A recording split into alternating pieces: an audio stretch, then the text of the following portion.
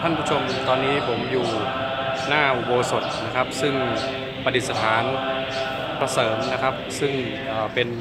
จุดหมายของเราที่เราจะพาเพื่อนๆเข้ามาดูนะครับ ตอนนี้ก็เป็นเวลาของพระสงฆ์ทำวัดสวดมนต์ตอนเย็นนะครับ ผมก็จะพาท่านเข้ามาดูบรรยากาศกับเสียงสวดมนต์แล้วก็ดูเยอะมาดูมาชมแล้วก็นมัสการพระเสริมกันตอนนี้เลยครับ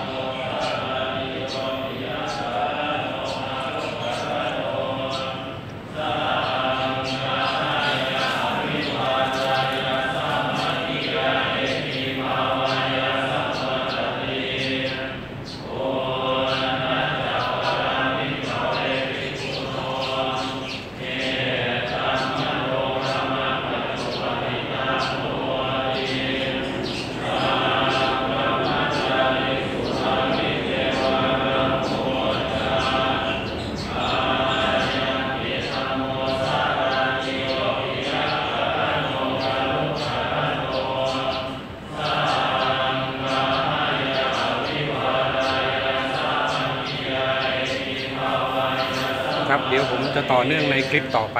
ใช้อีกมุมหนึ่งของกล้องนะครับ เพื่อที่จะให้เพื่อนและก็ท่านผู้ชมได้เห็นภาพโดยชัดเจนนะครับ เพื่ออนมัสการองค์พระเสริมจาก